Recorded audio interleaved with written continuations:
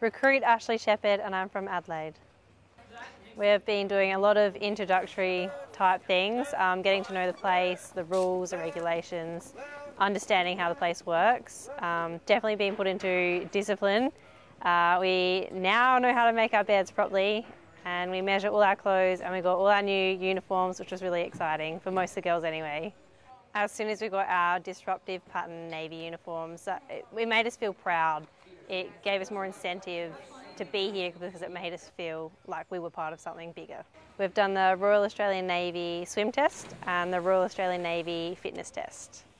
The Royal Australian Navy swim test involved doing a three metre safety jump, a 50 metre safety stroke swim, a 10 metre underwater swim without coming up for a breath, and 15 minutes of treading water in overalls.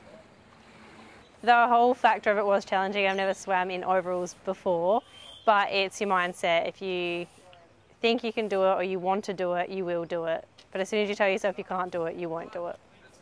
I hope to reach every challenge that is put in front of me and I just I hope to grow. I hope to do many things and the Australian Defence Force is just going to offer that. I mean, I'm going to make lifelong friends, and I'm going to do amazing things that not a lot of not a lot of other people get to have the opportunity to do.